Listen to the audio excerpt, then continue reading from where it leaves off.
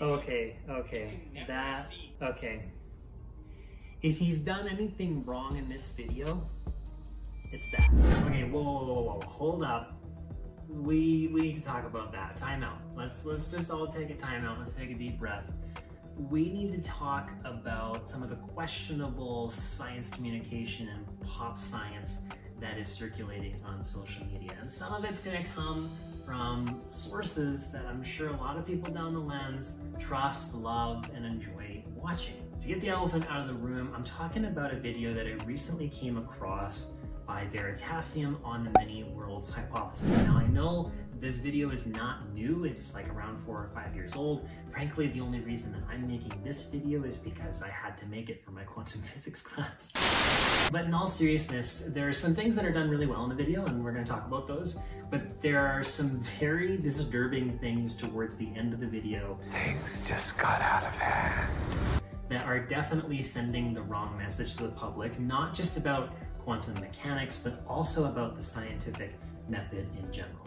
By the way, if you're new here, my name is Eric Hess and I'm an astrophysics student at the University of Calgary. And for the past three years, I've been teaching physics and astronomy to thousands of Alberta students, so I wear the brunt of questions that students get when they watch videos like Veritasium's and then develop some pretty wacky and questionable interpretations of reality. So the first thing that Veritasium does is shows you this beautiful visualization of a solution to the Schrodinger equation. If you don't study physics, the Schrodinger equation is basically the end-all be-all equation that describes how particles evolve over time. They might be stuck in potential wells, which you can picture a skateboard in a half pipe the, the, skateboard and the skateboarder riding the skateboard is stuck in the half pipe and you can't really leave the half pipe unless you apply energy in some way. Another possibility is you have just a skateboard on flat ground and there's no half pipe and that would be a, just a free particle um, where there is no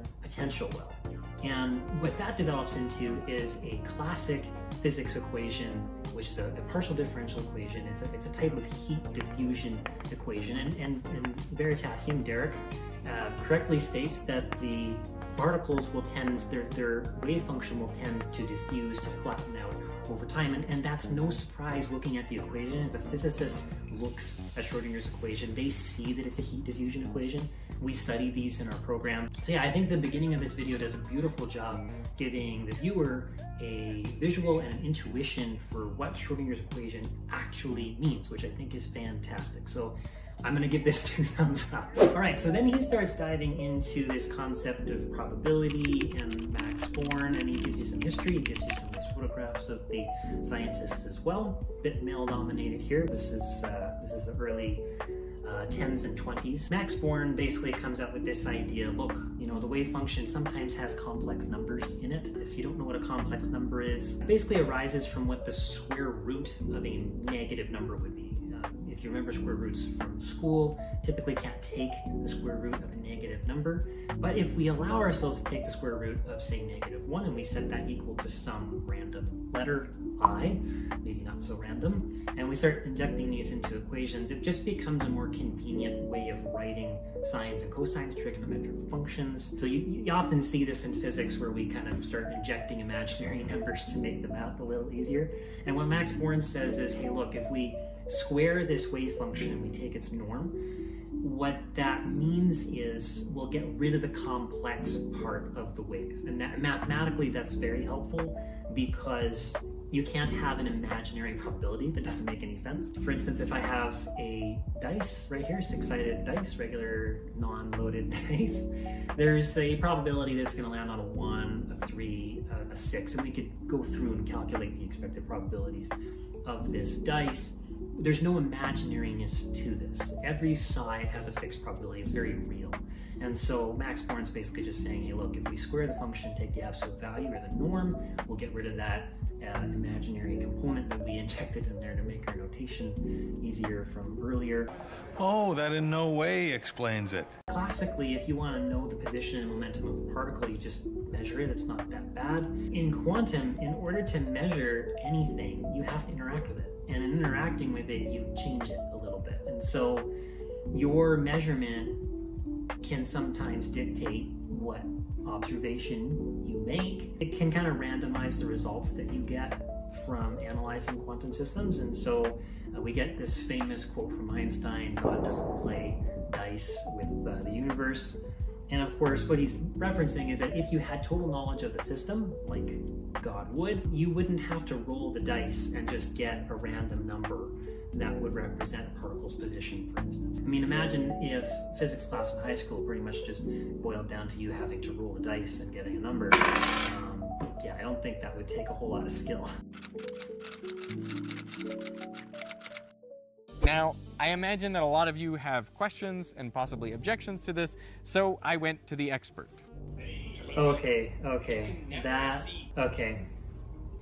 If he's done anything wrong in this video, it's that, right there, where he says, I, I imagine that you've got questions, so I went to the expert. Now again, this video is four years old, so he might not shoot this video the same way. He might not film this video the same way today. But that's not how science works. That's not the scientific method. There's no nowhere in the scientific method of research, hypothesis, experiment, results, test, conclude, write your report, and do it all over again. Do we ever say, you know, I have questions, I'm just gonna go to the expert and have an expert tell me what is right and what is wrong? This, this is a cognitive bias that we have. We tend to think that people who have, you know, educated positions or positions of power have authority over certain knowledge. And this starts to feel very, dare I say it, church to me. You know, it's like we've gone to physics church. You know, we have questions and we got to go to the physics pastor to tell us um, where we've gone wrong with our physics or, you know, how we're misinterpreting the, the physics. This isn't the scientific method. We don't go to experts. We go to cold hard facts. So if you want to get answers to a question, a burning question that you have, you either apply the scientific method and you iterate until you get an answer, or you go to the literature. Some researchers did that for you. Some more researchers did that for you over and over and over and over and over again until we get something like Planck's constant defined to like 10 digits because we're not, you know, we're not interested in measuring that anymore. We're just going to call it a constant because we all agree with one another. That's how science is supposed to work. Bunch of cold hard data being backed up over and over and over and over again by a bunch of independent and often competing parties. That's something that's often left out of the scientific method that people don't think about. There's there's often competing parties here. Like these research fields are tiny. There's only so much funding that goes around, and you have to compete for the money that you that you earn in order to run your experiment. And so these are competing parties and within the same field. And so when they agree on something, you need to go, okay, well, we've got, you know, it's like two different teams, right? You've got Calgary Flames and Edmonton Oilers, and somehow they're agreeing on something. Okay, well, this is probably objectively true. Nowhere in the scientific method do we go to the authority figure and ask for information because that's somebody else doing the thinking uh, for us. We're not doing the thinking anymore. We're not basing any of this off of data anymore. We're just going to an authority figure. So this really bothers me. This should not be in the video. What we're gonna learn is some interesting stuff, I'm sure but this should not be in the video. This is not how, how science is done. Okay, so I wanted to make this video about many worlds, but I was concerned I was going to screw it up. So I've come here to uh, meet Caltech professor Sean Carroll, who has literally written the book on many worlds. Here's the book, Something Deeply Hidden, available wherever books are available. oh, come on. This, like, so not only do we have the, the authority figure, Derek's gone to the authority figure to get the answer, now we've also got the authority figure selling merch. What? Like, that's just cringy. That's just cringy. And you know what's crazy about this? This is probably a good book. I'm not saying don't buy the book. I'm not saying hate on Caltech here. Kick him out and burn his clothes. I'm just saying, you know, they've gone to an authority figure, and now they're trying to sell us their book. All right, so if there's anything I want you to take away from this video, it's really two things. Number one, the multi-worlds hypothesis is a philosophical interpretation of some wacky results from quantum mechanics. There's no proof of other worlds, dimensions, uh, the Spider-Verse, the MCU multiverse. There's no proof of any of that. It's just a philosophical interpretation to make quantum mechanics makes sense to a human. And number two, the scientific method does not involve going to an authority figure for accurate information. The scientific method empowers each and every one of us to critically think about the world around us, sort through the data, and actually find objectively true and verifiable information. So I don't want to encourage anybody down the lens to go to an authority figure the way that Veritasium did in order to get an answer. Because if you do, what's inevitably going to happen is when you go and confront somebody about something that you just recently found out with your authority figure, they will inevitably go to their authority figure that backs up what they say, and all you're going to have is just this conflict that can never be resolved. The only way to really find objectively verifiable information is to consult the data, is to consult the literature, and I know that there are a bunch of paywalls and other reasons why scientific literature is inaccessible to the public, and that's a problem that we need to address as scientists but it doesn't mean that you go to an expert just because it's easier, just because it's more convenient, or just because it confirms something that you already believe.